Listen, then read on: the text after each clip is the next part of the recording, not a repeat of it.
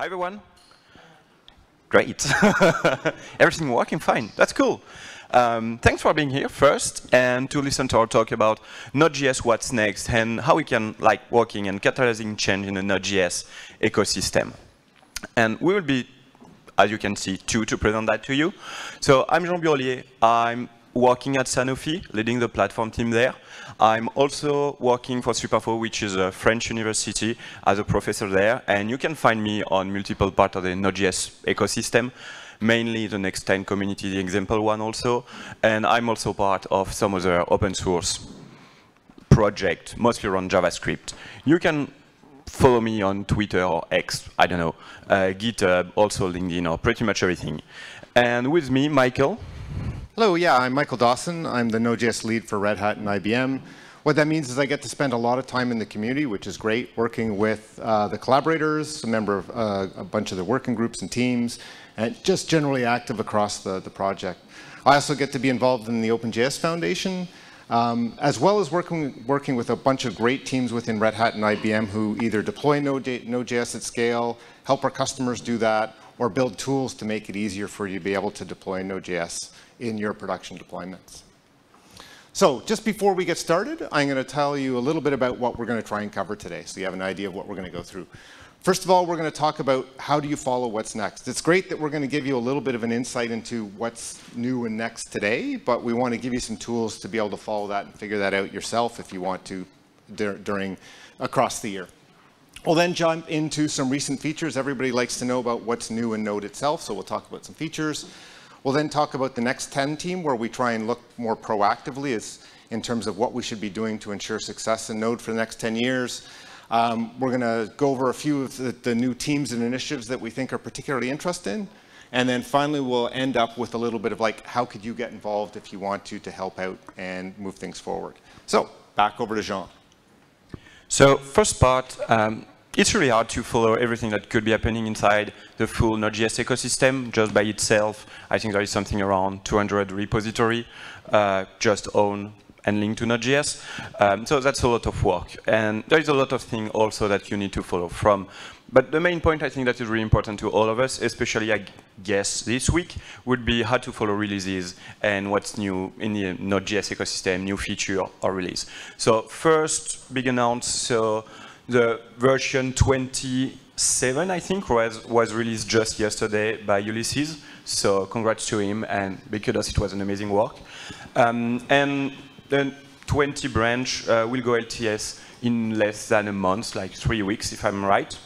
And also one of the good news, and uh, really important news at least, is Node 16 like move to end of life, and Node 18 should be the one that you should be using at least like in production or in everything and or 20 like in a few weeks. Um, and next month we will also release uh, a new branch for the 21 version to try, test, and experiment new stuff on that, which is quite important. So quick remember, like quick information, please update. Don't use Node 16 anymore. Move to 18 or 20. That would be great. Um, also, well, also some specific point. So one way to follow what's happening and what's new in a new version would be our changelog. Uh, it can be quite uh, hard for some people to read, so but at least everything is like easily to, let's say, more or less easy to display. You will have see and be able to see like notable change, what's new, what's coming, uh, what's breaking change or not. So this is a good way to follow what's everything being updated on everything.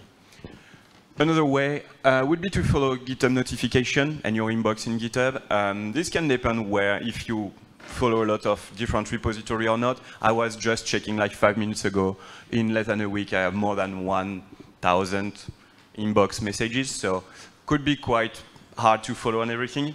But this could be a good way if you want to play also with filter and everything. One good point for everyone, and I know a lot of people are not aware of that, but you can all join us for meetings. So we held like weekly or even daily on multiple topics, uh, working group sessions that are live you can just check everything on YouTube is being recorded and available on YouTube, or you can just join us. You will find the full calendar at this address, nodejs.org slash calendar. And as you can see, you will have like meeting about multiple topics from Next10 to TSC meeting that you can follow to Node API to pretty much everything. So please, if you are interested to work or to provide some feedback about Node.js, how you use it, join us and just share what you know and your love for Node.js. Also, some specific key initiative, um, part of the project, so there is more, but this is a small list of that, from working on performances to single executable to compromise, a lot of people and a lot of people that are championing this initiative, so that's pretty cool. And now that we spoke quickly about the key initiative, uh, Michael will talk to you about uh, what's new in the ecosystem and the recent feature that we delivered. Okay, so yeah, everybody's interested in what's new, but I always like to say major releases are boring. Unlike a proprietary product where they basically like control all the release, the, the, the new features and bundle them into something that makes a really good press release, uh, Node.js in particular works to flow those back into earlier releases. So features, by the time we do a, a, major release, a lot of the features are already in the previous LTSs. Um, and so, you know, that coupled with the fact that we really try and minimize things that are going to be breaking. And so what you end up with in major releases are just things that we were very cautious usually about. You know, they may break some edge cases or something like that, um, but they can be boring. Semver Minor is where it's at. So all those features which are Semver Minor, they get landed, of course, in the mainstream, but then flow backwards. That's where the, the, real interest is. But I think majors are still a really good time to sort of celebrate and talk about the new features that we've gotten over for, for, for the last little while. Especially, you know, in the context of promotion to LTS. The next LTS is being promoted in October, and maybe that's the first time that you can try, try out some of these new features um, in an LTS. Uh, because you know, even if they've flown back, flowed back to an earlier release, it may have just been one of the currents. So I'm going to talk about the features in sort of three ways, as opposed to like, hey, what's new in the latest LTS? It's sort of old news, but things that I think are particularly important for you to know about as you move up, say, when you plan your migration to 18.x from version. Um, things that are baking, uh, you know, they've been, they've been worked on for a while and they're making progress, um, and, but maybe they're not uh, stable yet. And then finally, sort of the latest, greatest news, which are things which have been released in, in sort of very re more recent times. Um, the first one is OpenSSL. So uh, we upgraded from OpenSSL 1.1.1 to, to, version 3. Um, and that did come in uh, 17. So that was a little while ago. Um, but 18 is the first LTS that some, where some people may be sort of running into that. So it's, I think, important to measure, to mention. It's meant to be backwards compatible, but like any sort of future or new versions of, of, things related to crypto, they're always tightening down what they consider secure algorithms or secure key lengths. So that's something to think about when you move up and maybe plan a little bit more time because you may find that like an algorithm your application was using is no longer supported or you have to move to larger keys. So that's certainly one, one aspect to think about. The um, other thing is native modules. So there's a bunch of methods that were deprecated. So they're not, you know, your, your native add-ons may still compile, but you might get more deprecation warnings and maybe it's a good time to start thinking about uh, moving up to the newer APIs so that when it, they, they finally are removed, you don't run into a problem. There's a great guide on migration. So if you're as part of planning your, your move up to 18, it's probably a good idea to read through that and figure out if anything's going to be affecting you. The next thing is the default DNS resolution. So we probably all know that IPv6 is something that's been worked on for quite a long time in the overall ecosystem. Pretty slow transition, I think, overall. Um, and up until this point, Node basically said, well, regardless of the way that the DNS server gives me the addresses, I'll give you the IPv4 ones first, which typically meant that would be what you use to connect. Uh, we decided it was time to start respecting what the DNS servers tell us. So if they give us a list and the IPv6 ones are first, we're going to leave it that way. The challenge that we see people running into, and this happens to me actually all the time, we have a machine that's configured to, so it, it thinks it's got IPv6, but it's really not configured well enough to actually connect out. So it sees that it gets an IPv6 address, it tries to make the connection, it can't. Basically, you know, I try and do an npm install and it just hangs. Um, not any real problem in Node, but there's enough machines out there that you might run into it. The good news is, is that there's a command line. That's kind of why I wanted to, you know, tell you all about this. If you run into something like that, you can just add the, the dash dash DNS result order equals IPv4 to flip back to the way it was. And you can do that through node options to fairly easily get back to where you were. The next set of features are the ones that are kind of baking. And these include fetch, WASI, and, and dash dash watch. I don't know that any of those will become stable in the next uh, LTS uh, promotion or in 21, but there is some discussion around some of them, so that's a possibility. So fetch was sort of a, a long discussed, um, and at one point we had an Next10 deep dive, which, and Jean will tell you a little bit more about those deep dives. But we had a deep dive where we agreed we kind of wanted to move to the point where we had a, a very high level API for doing HTTP, and then a more, more lower level one that would give you more things where you could tune performance and, and, and do more things. As part of that, we agreed Fetch, which was a, a web API, uh, was the right way to provide the higher level API in Node, Node itself. And this just shows the code that, you know, it allows you to very easily, without much fuss, uh, pull in the content of, of a URL. Um, you'll also see down here, Jean will talk about some of the, the different technical priorities that the Next 10 has worked on. And on some of the slides, I've got like, okay, this is actually in line with our technical priority that modern HTTP is something that's important that the project should be working on. And you can see this is one of the things where we're making progress on that front. Um, the next one is uh, WASI. You may have heard a lot about WebAssembly. There's quite a lot of sort of buzz and interest about that. Um, Node can run WebAssembly through our, because we use V8. Uh, and we have an experimental implementation of WASI. WASM is great as long as you don't need to actually do anything outside with the outside world. WASI lets you connect to the outside world through the file system, through sockets. And so there's a, a, a, a um, uh, experimental implementation that lets you launch your WASM with the WASI environment and, and lets you get access to some of those things. Still really a, a work in progress, but I think one where you know, if you need a, a, a runtime and you're already using Node and you want to use WASM, you know, it's, it's a great thing to, to consider working, working with.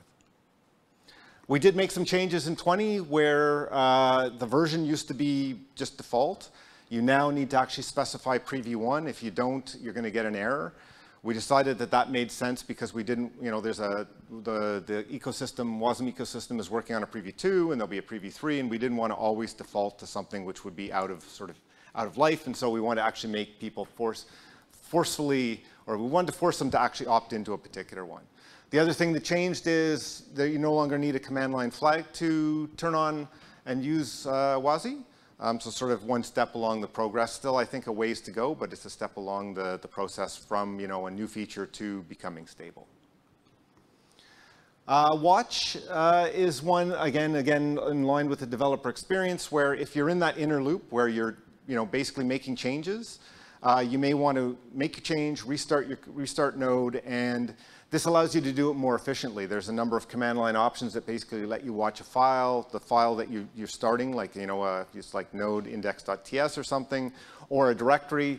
And anytime there's changes in those, it will automatically restart for you. So just helping you do um, things more quickly. That is sort of an interesting one in that you'll see a number of the features that, that I'm talking about today are kind of in the, we're going to give you a little bit of something you could do through a package. So there are already packages which would let you watch and, and do restarts. Um, but there has been a trend to pull in some basic functionality in different areas so that you don't have to find and install as many packages when you're working with Node.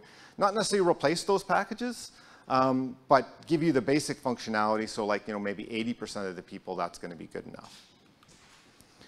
Uh, in terms of features, now sort of hot off the press, um, we had a number of them ranging from like argument parser, a test runner. Those are ones that are in that sort of model again of having a little bit more functionality. Support for single executable applications, a permission model, diagnostic channel, and support for ARM64. So the argument parser, again, it's like you know, not meant to replace Yargs or Commander. And the good thing is we really had a lot of collaboration from the existing maintainers of those packages, and they were in support of pulling this in. Um, so we got the benefit of their experience and their expertise, and it gives you a high-level API for actually doing some basic, basic, basic argument parsing. Here's the code where basically, you know, you can set up uh, through that const options is like, what are the options which I expect to come in?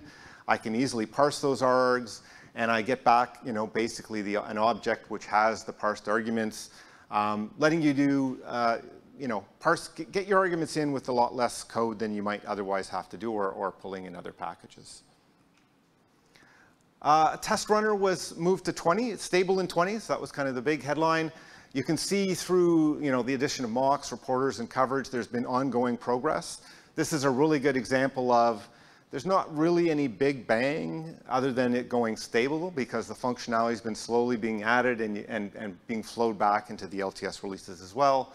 But it gives you a test runner where you can easily write a test just uh, through a few requires in the node namespace. I like it because it uses uh, tap output, which is well known, something that I've, I've, been familiar with on a number of projects. There's tools for parsing it. Um, and you know, you can very easily say, I just want to create a test and I want to assert that something is true or not true.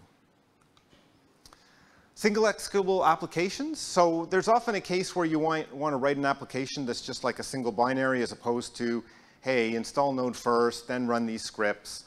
You'd rather just package it up as like one executable people can run. The single executable feature lets you do that. It actually bundles your JavaScript code into the executable itself, the ones that are available on the, the main download site. It uses a fuse so that like without having done the bundling, it takes zero overhead because we check this fuse, which is just a, a you know, a, some, a location that's in memory that you've loaded in from the application.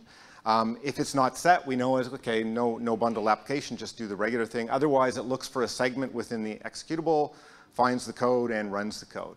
It also has some interesting aspects in terms of security in that you end up with an exe, which while it can run node applications, when you run it, it only runs the script that you've given it and sort of can, so that can be, you know, something people have mentioned to me as interesting in that it reduces the surface area. Um, you're not saying install node that can now run any kind of script. You're saying install this binary that just runs my one application. So in addition to helping with the easier distribution, it also helps with that reduced surface area, and that's kind of a, an interesting one. Again, still experimental, but being worked through and, and, quite interesting.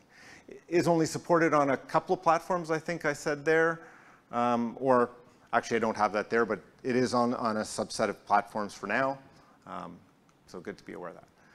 Uh, Process-based permissions, this is something that uh, Rafael has done and put a lot of work into, um, and it's, it's actually quite difficult to totally control and provide a sandbox and, and Node security models specifically that we don't provide a sandbox. But even given that, it's sort of like, in my mind, seatbelts and airbags, giving as many different tools as we can to help people be as secure as they, they can be makes sense. And so in this sense, you can turn on the permission model. It will limit some features by default, particularly those like native modules that where basically you can do anything. And then you can allow some things like accessing certain files on the file system. There is also a runtime check that lets you check, like, am I allowed to do this or not? So your application doesn't just fall over. You can check beforehand and decide what to do with that. Um, the tracing channel, so long time effort. The, diagnostic working group has been working on diagnostics. Observability is really important. I forget which talk it was that I saw yesterday, but like in production, you want to know what's going on. I think it was the one on transitioning to front to back end, and that, that was one of the comments. On the back end, it's much harder to see what's going on. So diagnostics are really important. Um, so diagnostic channel is, is, is, has been uh, an approach to let people, instead of having to monkey patch in uh, changes to get diagnostic information, to actually provide a standard model for providing that information.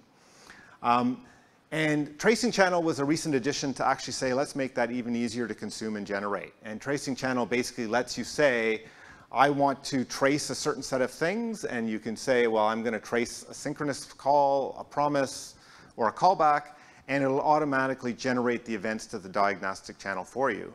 And similarly, on the consuming side, you can just subscribe to a channel, and it'll give you the events related to that particular channel.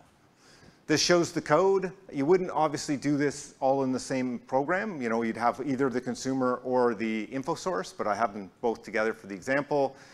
A couple of requires, and then, you know, in terms of the, the subscriber, you can just subscribe and say, well, I want to see the start, end, and error messages, which will give you the events before, after. Like if, if somebody's traced a, a, a promise, you'll get it before the promise and after the promise and so forth. In terms of the info source, there's an example of like trace sync. So it says, I'm going to trace a synchronous call, and you get, you'll get generate the before and end and so forth. So, and then I've got the bottom, I've just run this program, and you can see the data that, that's printed out. Uh, the last one is ARM64. So ARM overall, we've seen take, uh, you know, gaining in prominence. More people are, are running on ARM, wanting to put into data centers in addition to smaller devices. We've long supported it for Linux, uh, but The 19.9, we added support for Windows on ARM, and 20 will become the first LTS where you know we've got full support for that. So at this point, I'm going to hand it back over to Jean to talk about the next 10 project. So what about the next 10? Uh, just quick history about the this working group was created in 2019, 2020, just to, let's say, celebrate the 10 years of Node.js ecosystem. And the main idea was to try to find how we can be as successful in the previous, like in the next 10 years as we were in the first 10 years of the ecosystem itself. And for that, we want to prioritize, and we wanted to prioritize when we created this working group, we wanted to really discuss about the technical value and priorities that the Node project should follow, but also what would be the main target of people and constituency of people that use Node.js on a daily basis. And we thought it was easy to find, like, okay, everyone is a developer, front-end or back-end, great, that's all. But finally, we found a lot of different categories on that. So just for the technical value, everything is available in the Node.js repository. So if you want to check it and have a full like read through and everything, like it's always a, a good a good time to do. Um, but for us, the main idea and the main technical priority, I don't, I won't go through each of them, but the main is really to focus on developer experience and uh, sustainability as the two main one. But you can also see that we want to have a good experience for everyone that work across the ecosystem, from people maintaining uh, Node.js to people creating API, using it on a daily basis or a bit less. So the main idea is to really focus on everyone that work across the ecosystem. Um, the second part is a constituency.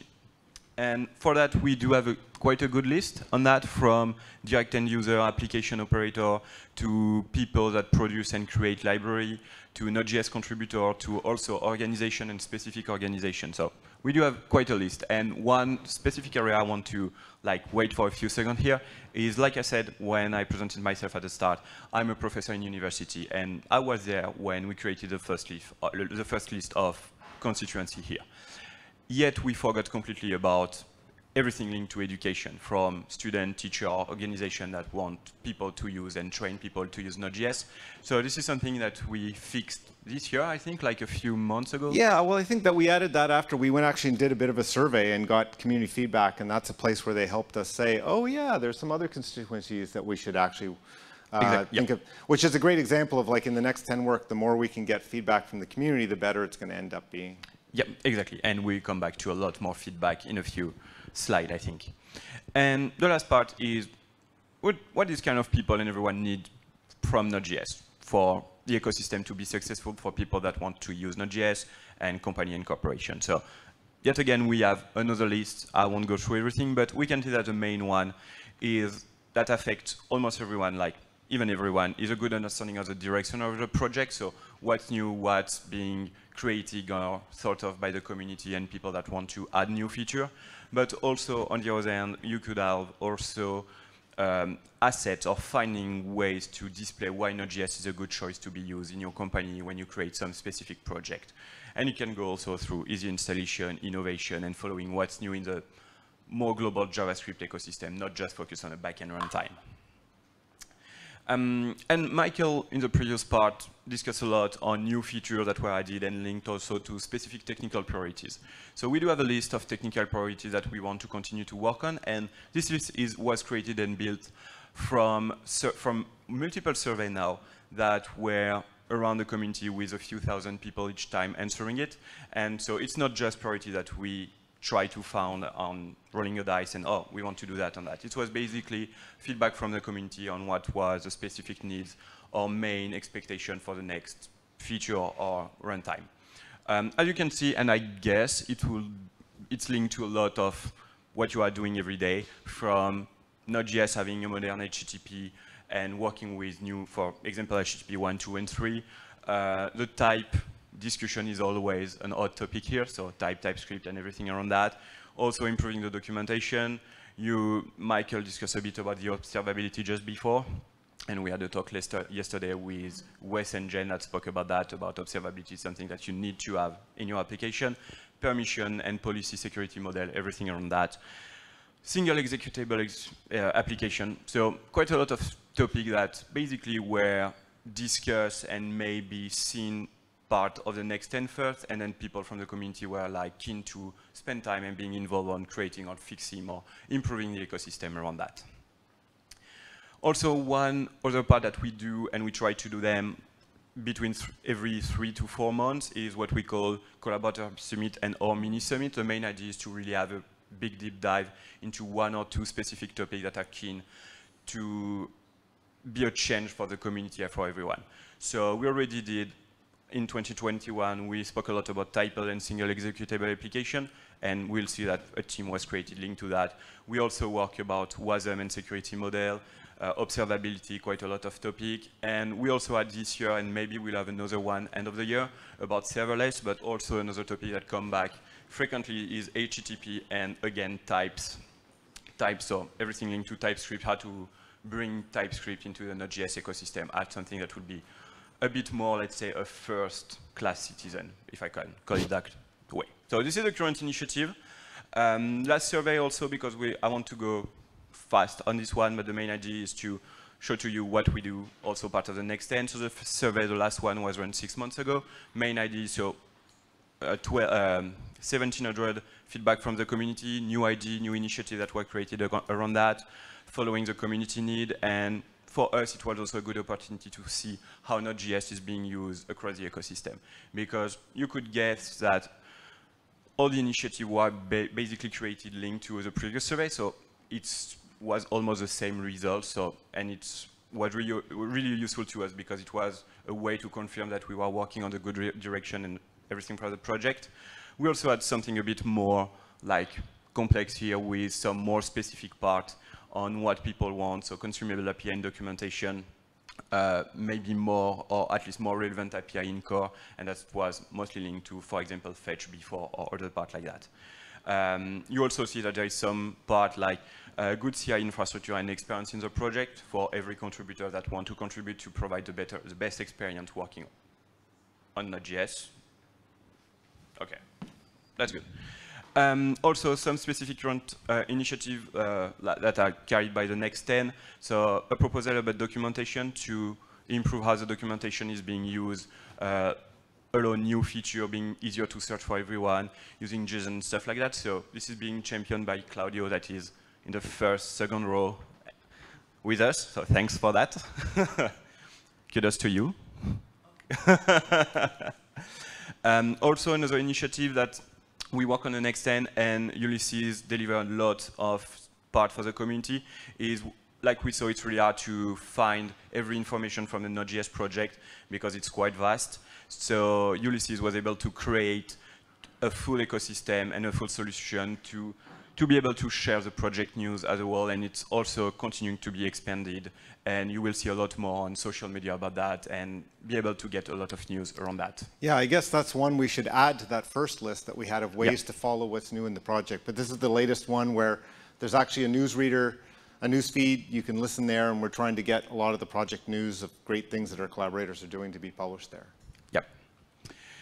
And finally, following that and everything from the survey, Michael will present a bit the new teams that were created and also new initiatives that are linked to that. Right, so we just wanted to highlight a few of the, the, the, new initiatives and teams in terms of like, you know, us talking about what's new and next in the, in, in the Node.js project. Uh, so over the last, I'd say six months to a year, there's been a real focus on performance thanks to Yagiz. And, you know, the, the, the goal has really been to improve performance across the board, but they've done some really great improvements in URL, fetch, and event target. Um, and this is a team that's getting together and, and talking and thinking about performance. We mentioned teams because I think you know one of the best ways that the Node project itself is actually quite large, and if you try and jump into the core repo, it can be a little bit maybe intimidating or hard to find your footing. Joining one of the teams or getting involved in one of the teams, they're usually a smaller group. They're people who might share an interest that you have, and that's a good way to meet people who might be like mentors or at least point you in the right direction. So that's why it's, it's interesting to point uh, to a few teams. So if you're interested in performance, this would be a great team to sort of meet some like-minded people. Uh, the security is another team that's been very active over the last year. We had some funding from the OSSF, which was great because it enabled not just the work that the person that they funded could do, but they basically reinvigorated the security working group or the, currently the security team, where a lot of other people have come and started to contribute, and we've had initiatives like automating our dependencies. We're now doing an audit of how those dependencies are built. There's been work on meeting the OSSF scorecards, and so it's really enabled a lot more work on the security front and a lot of progress in terms of you know the different things that are going on. So again, if you're interested in security, that's a great working group to get involved with. I mentioned single executable applications already, but if that's something that's interested you, package your applications like that that's a team that you might want to get involved with, and sort of many thanks to Darshan and Joy, for moving, moving that forward. Um, UVWASI, this is a new team that we've spun up recently. Colin actually wrote most of the current implementation, but we're really looking for new people to get involved and help maintain that. Um, so if you haven't interested in WebAssembly or WASI, it's a great actual learning experience.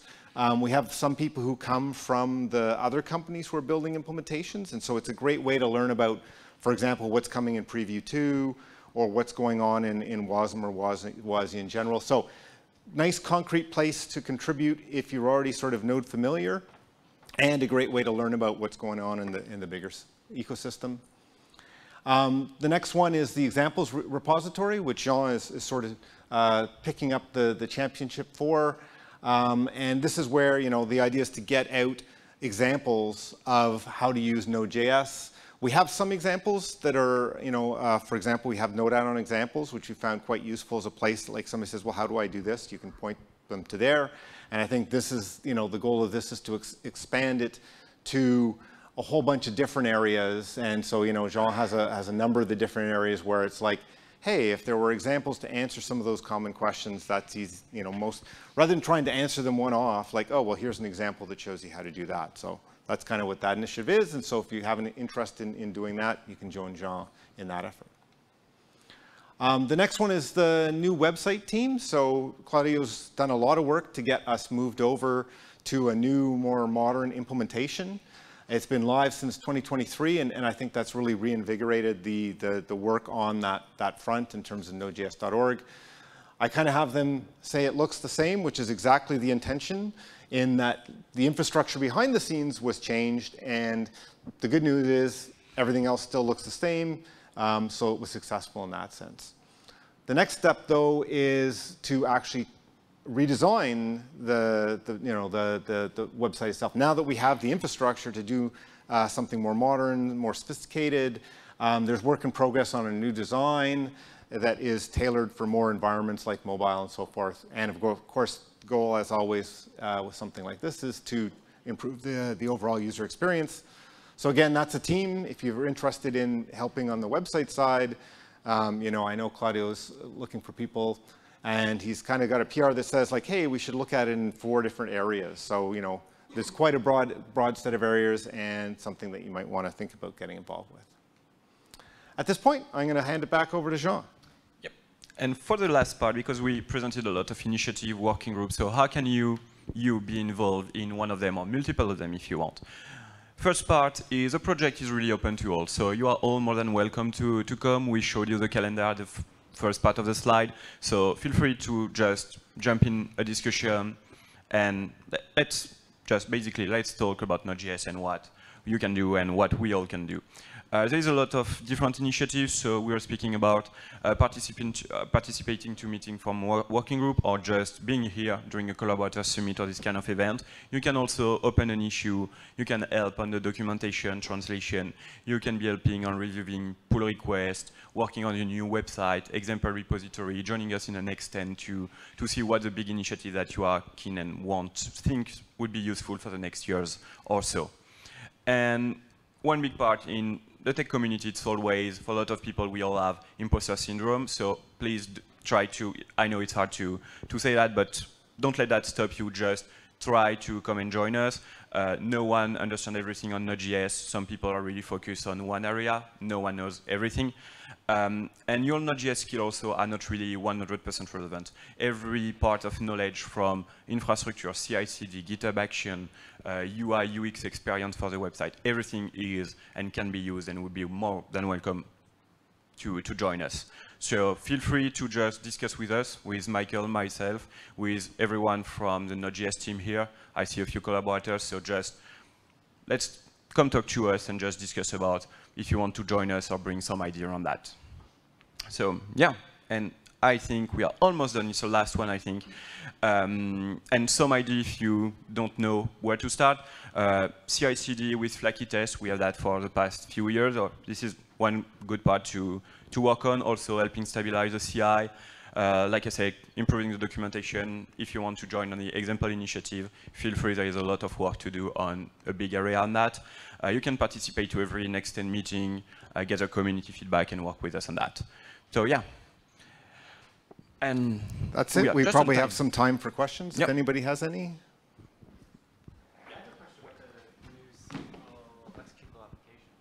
Um, you, I think you touched on this a bit, that it only runs um, the application that you give to it. It's, and you mentioned that things are smaller. Did you mean, It's not like the, the executable itself won't be smaller because we just bundle extra code into the, the Node.js like exe or whatever, you know, depending on the platform. But it's the surface area that's smaller, right? Like when you install Node, you now have something that can do all sorts of things. That whole API is available to, say, a, a malicious script that somebody might install on the system. And if you've authorized, you know, if you set it up so Node's allowed to run, and it can run any, you know, and you can run the script, you can run anything. Whereas when you bundle it in, uh, we created a single executable application, it's no longer trying to act as a generic Node runtime. When, it, when you run it, it runs just the thing which is bundled into it as opposed to providing the whole set of APIs. Ah, okay. Have we considered um, tree shaking? So like removing the bits that it doesn't use? There's been discussion, like that's the kind of thing people would love to have smaller node binaries, but it's not an easy task. In terms of things like specifically like tree shaking, so for your own application, you can apply all those tools before you give the JavaScript to the node binary itself. So what you're bundling in, you can apply all those tools, but actually pulling things out of Node, at most, not, so I shouldn't say most, but many of the components are in C, C++. So it's not a matter of just, um, for, one, for one, they're not in, you can't pull them out of the executable easily. Um, and even at this, that's less of a thing at the C++ level where like, how do you figure out what you're using or not? And we don't want to ship more than one binary for sure. Um, the, the one other thing I was going to say is there, there is one thing I've had in mind that we might do is internationalization. We added that in uh, a few years back because we felt it was time where by default you should be able to support multiple languages. That is a fairly good chunk of memory in the, or space in the binary. That's something that if we might apply the single executable approach and stick it into a segment, you could potentially strip that out afterwards. And yeah, I was going to ask, uh, to, to that was this idea of tree shaking the full, let's say, final, final bundle and stuff like that was one of the main discussion we had when we creating, when the, this working group was basically created. It was how can we, can we reduce the global size of something? And yes, the part from, uh, yeah, to keep maybe English as the first one or default one and be able to pass a flag if you want other language being added to the translation when it's bundled. Do you have some other question? Yes, if not, th- thanks, thanks for coming. Thank you. and I think I'll just re, just before we say goodbye, the, the last thing is just to reinforce Jean's comment, which was about feel free to join their meetings. They're all open. The project really tries to be as transparent as possible. And we find everybody who comes brings some specific expertise, which they may not realize is really useful for the project, but it is. So I, I, I just emphasize this because lots of people are like, is it okay if I join the meetings? It's like, yeah, they're all open. The, the, the, the meeting links are in the calendar. So please show up and everybody will be nice and very welcoming. So. Yep. Thank you.